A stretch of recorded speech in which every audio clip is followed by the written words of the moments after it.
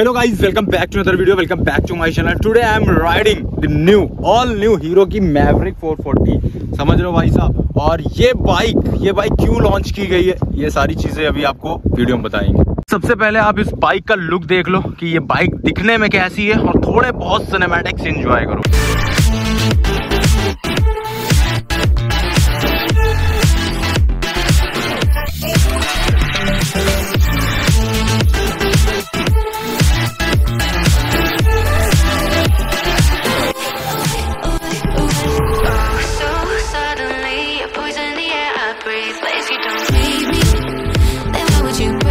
सबसे पहले power figure की बात करते हैं इस बाइक के। तो इसमें आपको मिलता है 440 सीसी का इंजन जो कि बहुत ज़्यादा पावरफुल है ऐसा मत सोचिएगा बिकॉज़ ये प्रोड्यूस करती है सिर्फ़ 27 बीएचपी की पार। अबे साले 37 न्यूटन मीटर का आपको टॉक मिल जाता है। तो ये तो पावर फिगर है। हालाँकि हीरो ने इसे हार्ले डेविडसन के इंजन पे डिज़ाइन किया है, बनाया है। लुक वाइज मैं कहूँगा कि बहुत सारी बाइकों का मिक्सचर है ये। बिकॉज़ कहीं कहीं जब मैंने इसे पहली बार देखा तो मुझे एफजी जैसी लगी। जब मैं फ्रंट में गया तो मुझे लगा ये तो रॉनिन जैसा इंजन है। फिर मतलब ऐसे ही रॉयल एनफील्ड की भी एक दो बाइकों का मिक्सचर करके इसे बनाया गया आप बताओ कमेंट करके कि आपको ये कौन सी बाइक फील होती है। बाकी एग्जॉस्ट नोट आपको सबसे पहले मैं सुना देता हूँ। किसका एग्जॉस्ट कैसा है? एग्जॉस्ट सुनिए। रियर टायर की बात करें गाइस तो 150 सेक्शन का टायर आपको रियर में मिल जाता है और 110 सेक्शन का टायर आपको फ्रंट में मिलता है। अब स्विचेस की बात कर लेते हैं गाइस तो यहाँ पे आप देख सकते हो हीरो ने अपनी ब्रांडिंग कर रखी है। बाकी बहुत प्रीमियम फील होते हैं स्विच इधर भी बहुत प्रीमियम है। एक और बहुत बेहतरीन चीज़ इन्होंने डाली है विच इज़ एच ओ पे ये देखिए, थोड़ा कॉकपिट वाला फील आता है कि ऐसे, ये मस्त बटन उठाने का और नीचे एसओएस नाम का एक बटन है इसको दबाने का।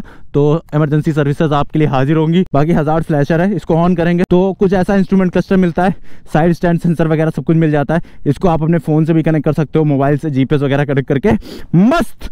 मस्त आप नेविगेशन भी कर सकते हो। बाकी फ्यूल टैंक की बात करें तो 13.5 लीटर का फ्यूल टैंक आपको इसमें मिल जाता है। बाकी फिनिश एंड फिट काफ़ी प्रीमियम लगा मुझे। बाकी यहाँ पे आपको एक मस्त यूएसबी जैक मिल जाता है, जिससे आप अपना phone on the go charge कर सकते हो। हीरो ये चीज़ तो अपनी सारी बाइक्स में आपको दे रहा है। बाकी यूएसडी फोक्स आपको नहीं मिलते हैं यहाँ पे। बाकी बाइबर के डिस्क ब्रेक मिल जाते हैं डुअल चैनल एबीएस मिल जाता है। ये विच इज़ गुड जब आप राइड करोगे तो फील करोगे बाइबर के डिस्क अच्छा काम कर रहे हैं परफॉर्मेंस अच्छी दे रहे हैं। हालाँकि टॉप स्पीड ऑलमोस्ट जैसा हम सोच रहे थे वैसा नहीं है बिकॉज़ इसका जो बीएसपी देखें तो आरएस से, जो कि 200 सीसी की बाइक है, सिर्फ़ तीन ज़्यादा है। वो 24 आती है, ये 27 है। बस इतना ही फ़र्क है। अगर आप सोच के ये ले रहे हो कि ये 440 सीसी की बाइक आपको एकदम ताबड़तोड़ ड्यूक थ्री जैसा या उन उन जैसी बाइक को जैसा परफॉर्म करेगी तो आप बिल्कुल गलत होने वाले हो। इस बाइक को फन के लिए ले सकते हो बिकॉज़ इसकी कॉस्ट ऐसी है कि सारी 200 सीसी बाइक के बराबर में खड़ी रहती है।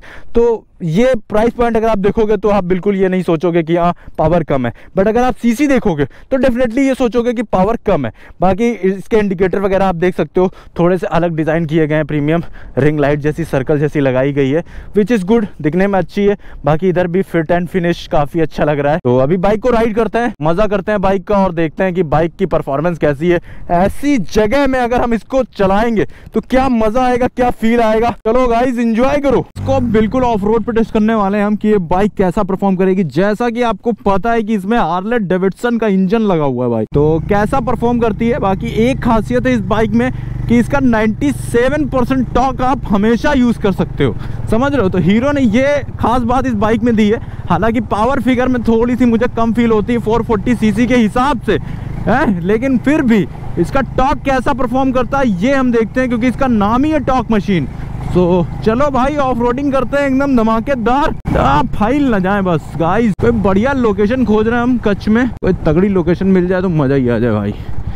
है ना? ओ भाई साहब, ये किधर आ गए ले भाई? क्या बात है। बहुत बढ़िया। क्या सीन है? क्या नज़ारे हैं?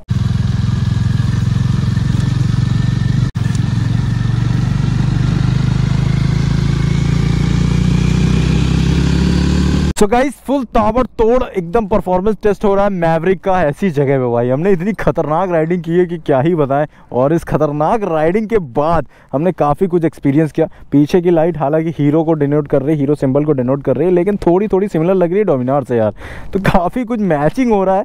मतलब इधर उधर की बाइकों से कुछ यूनिक एकदम यूनिक सा कॉन्सेप्ट नहीं है कि जो इनके पास है, वो दूसरी बाइक में ना हो। ऐसा कुछ फील नहीं आ रहा है यार, समझ रहे हो? तो Maverick four forty X talk जो है वो ओवरऑल मेरे हिसाब से बाइक ठीक है प्राइस पॉइंट के हिसाब से।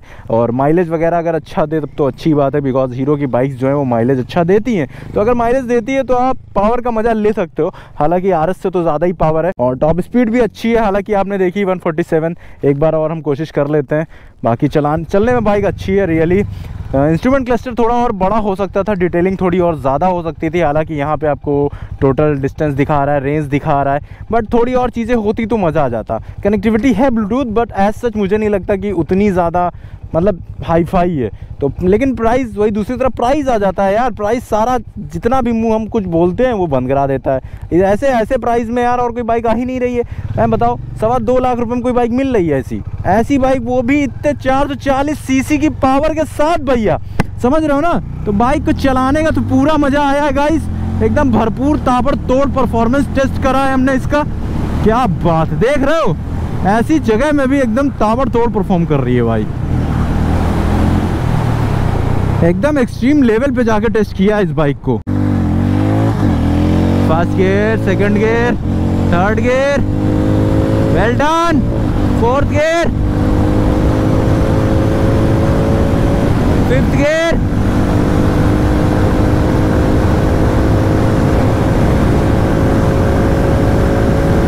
forty पहुँच गई भाई forty two forty three forty four forty five gear डाल दिया है। Forty eight forty nine fifty fifty one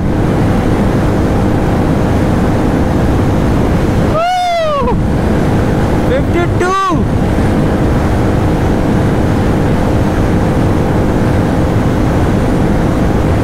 fifty three का 53 वैसे 27 bhp की पार देखने के बाद हमें लगा था कि ये इतना अच्छा परफॉर्म नहीं करेगी, लेकिन मज़ा आ गया भाई।